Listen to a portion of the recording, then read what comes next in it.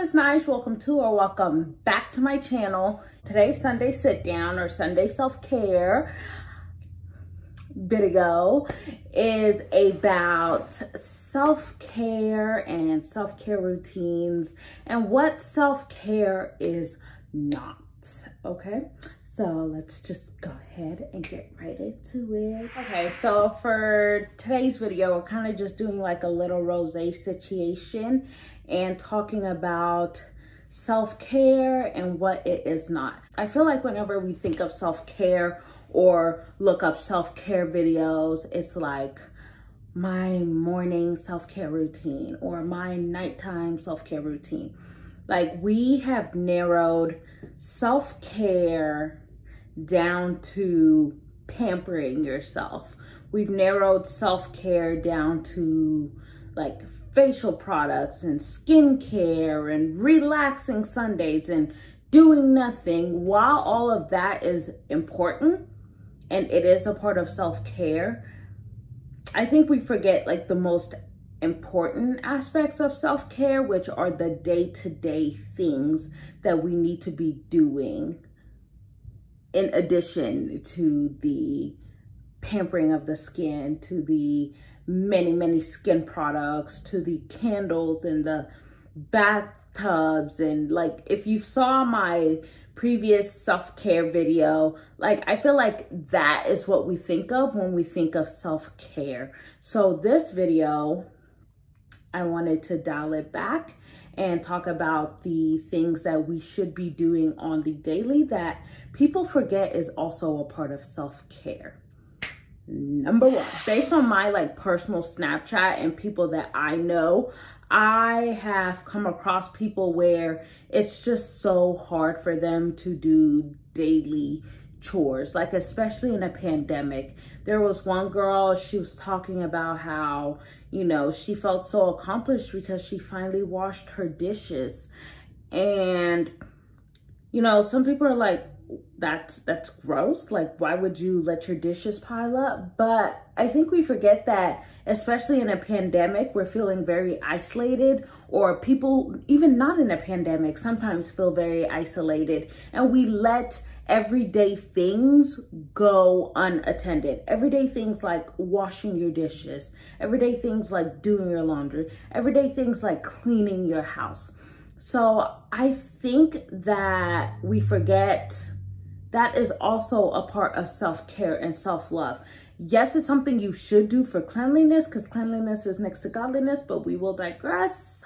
Okay, we're not judging here.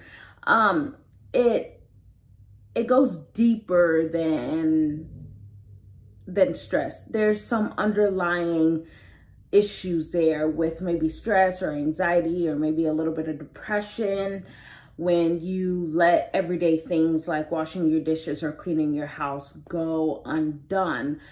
But with that being said, once you do do those everyday things like cleaning your house, like clean your house, light a candle, like you feel so good that your living space is clean and it's livable. And that in itself is self care. So, self care is not just taking care of yourself, but it is taking care of your living environment, okay? It gets into your spirit when your living space is clean, as well as when it's not clean. That also gets into your spirit. Like cluttered living space, cluttered mind. So, unclutter your living space. That's a part of self care. Number two of self care is not isolating yourself. Like, I think when we think of self care, we think of, oh, a night in, I'm to pamper myself, blah, blah, blah, like I said. But yeah, that is self care. Also, not isolating yourselves. Like, don't be so engulfed in everything you have to do and clearing your mind and being positive and all that stuff that you forget that there is a whole world of people out there and you need to go be a part of that world. Like self isolation, we've made it seem like it's just this grand, amazing thing. Like, um, I don't hang out with anyone. Like, I don't hang out with people. Why hang out with people? Like, I catch myself where I just want to be alone And next thing I know, like weeks have passed and I haven't hung out with anyone. And I have to check myself like, no, you need to check in with people around you. You need to check in with your friends, your family. Like you need to check in with people, like really check in, not just like, oh, I'm fine in passing. Like really go out to lunch, go eat, have a girls night, like check in with people. That is also a part of self-care. My next point about self-care is check in with your goals. A lot of time we make like New Year's resolutions or we just say in passing to ourselves or other people like, I want to do this. I want to accomplish this. But we sometimes we don't consistently check in with ourselves with those goals and we let them go undone. Like breaking your promises to yourself, it does something to you mentally to where you like you have this mindset of um I'm not going to keep that promise. Like you, you know how when there's a friend and they're kind of unreliable, so you don't take anything they say seriously. When you break your promises to yourself and don't check in on yourself with your goals, you become that friend to yourself where you don't take anything else that you say serious. Like you're like, oh, I'm going to start that business. But in your heart of hearts, you know you're not going to do that because you know, like, you don't keep your promises to yourself. So keeping your promises to yourself is also a form of self-neglect. And that is what we need to change.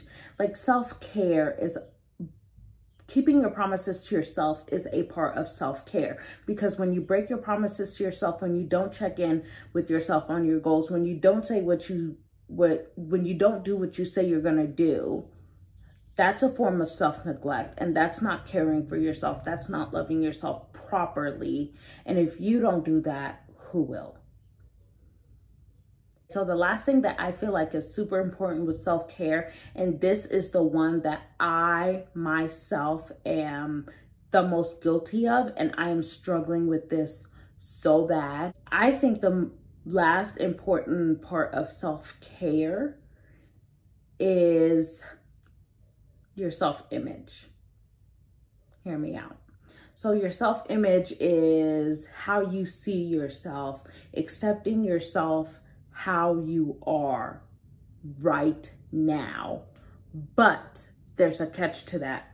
In addition to accepting yourself how you are right now, self-care is being honest with yourself and letting yourself know when you have gotten a little too wild with your relationship with food, when you have gotten a little too wild with skipping out on the gym, when you have gotten a little too wild with saying, I don't need to change for nobody.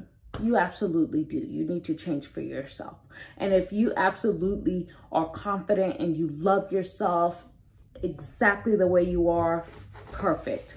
But let's be honest. Be honest with yourself. If you know that you are carrying a few extra pounds to where you just don't feel comfortable wearing certain things that you would love to see yourself in, then you are neglecting yourself. I am struggling with that so bad. Like I, with my weight gain, it was, it was gradual and I saw it coming and I could have stopped it at any point, but I neglected myself so badly at one point that I literally, I would tell myself, um, I'm going to start tomorrow or Monday is the perfect time to start. Like I'll start Monday. I'll start Monday. I'm going to monitor what I eat. Um, I'm going to work out. I'm going to have a plan. I'm going to get it together and I'm not gaining any more weight. I kid you not. I am let's see, I'm 60 pounds over, 60 pounds later of me telling myself, oh, it's gonna be fine. It's gonna be great. Like, I'll be okay. 60 pounds later, I've had to buy new jeans. I can't wear the clothes I used to wear.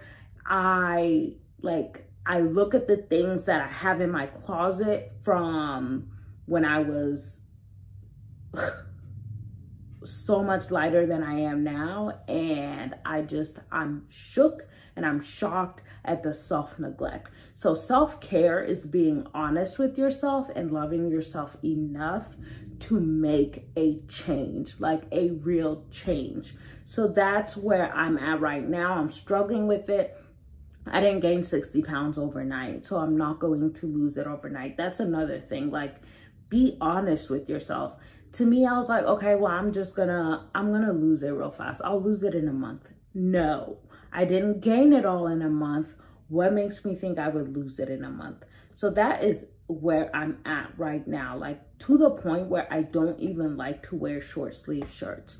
Like I, I'm at that point and I realized like the self neglect was real. So self care is not just the hippie night in relaxing wine which is amazing. I love that stuff like more than anyone. I love that stuff. But self-care is also being honest with yourself and working to where you want to get in every aspect of your life. Brains body brand. Those three things are super important that's it for this video. It's pretty long, but I hope you enjoyed this Sunday sit down self-care Sunday. Um, I will see you for Tuesday, True Story Tuesday. This one is a doozy. Come back for True Story Tuesday, okay? Uh, yeah, that's it for this video. I'll see y'all in my next one. Bye, y'all.